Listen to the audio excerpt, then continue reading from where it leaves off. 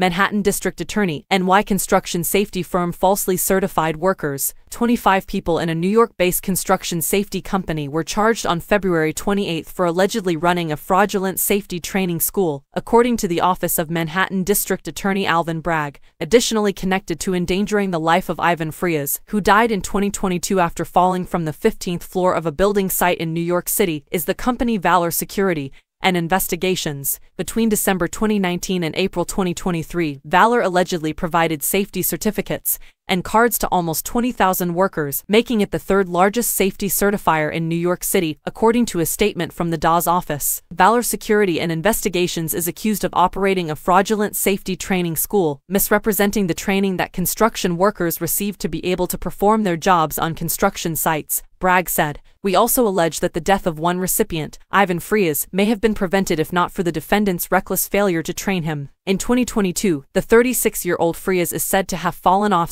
scaffolding when a residential building's facade was being repaired. The Brooklyn business owners were previously indicted for producing and distributing phony OSHA and building department safety cards, and these charges are a follow-up to that indictment. The DA claims that although Valor supposedly submitted certifications stating that Frias had finished 10 hours of safety training, which included 8 hours of safety protection, it had never given him any instruction. The DA further states that Valor submitted paperwork to the Department of Buildings asserting that it trained hundreds of kids in safety while video footage showed empty classrooms. Additionally, the company submitted safety certificates for pupils using the initials LNU, which stands for last name unknown.